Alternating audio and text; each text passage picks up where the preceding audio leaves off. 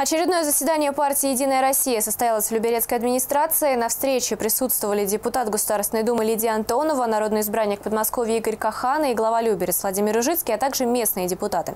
Участники собрания обсудили предстоящие выборы губернатора Московской области, а также ряд других насущных вопросов.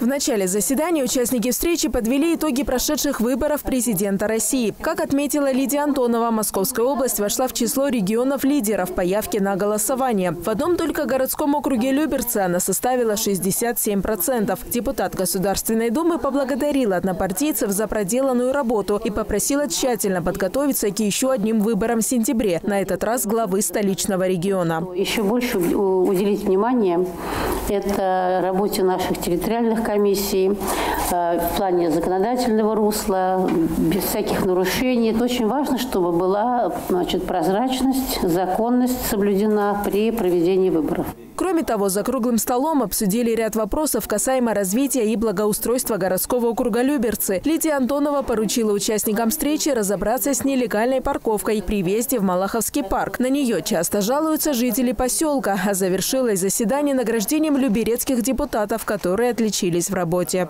Луиза Игазарян, Андрей Иванов, телеканал ЛРТ.